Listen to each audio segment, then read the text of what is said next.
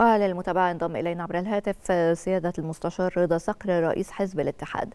سيادة المستشار كيف تقرأ ما قرره المجلس حيال الواقعتين تجاه النائب مجدي الوليلي والنائبة نشوى رائف وإلى أي مدى يعكس أن الجميع أمام القانون سواء؟ أهلا بحضرتك وبالسادة المشاهدين.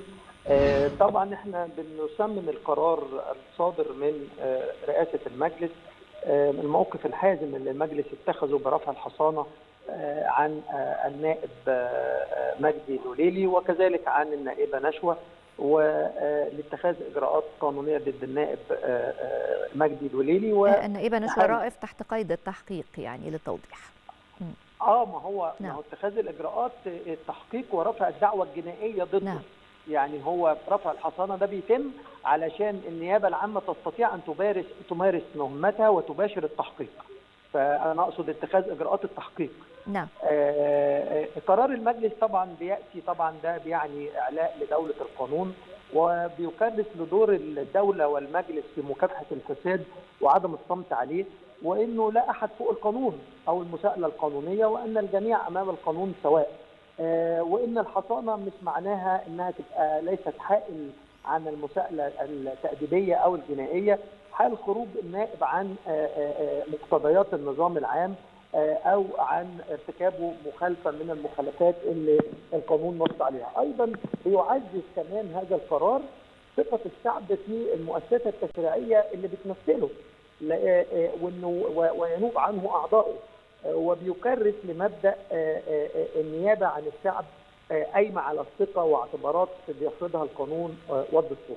وخليني أقول لك انه إن المشرع النهارده في الدستور لما وضع ضمانات لأعضاء مجلس الشعب والشيوخ هذه الضمانات والحصانه اللي وضعها لهم عشان يكفل حمايتهم عشان مباشرة مهامهم داخل المجلس.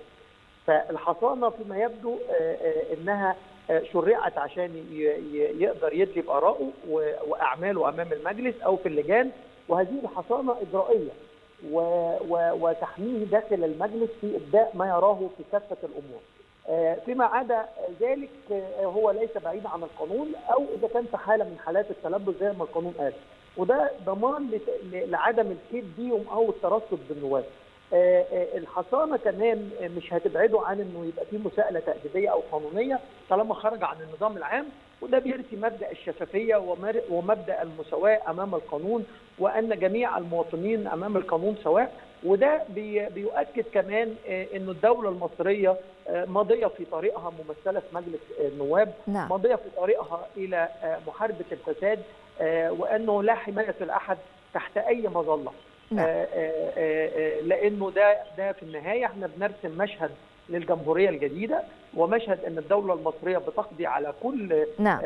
منابع الفساد من أجل بناء دولة مدنية حديثة قائمة على الشفافية والعدل والمساواة. وضحت الصورة. وضحت الصورة. أشكرك جزيلا. المستشار رضا صقر رئيس حزب الاتحاد كنت معنا عبر الهاتف.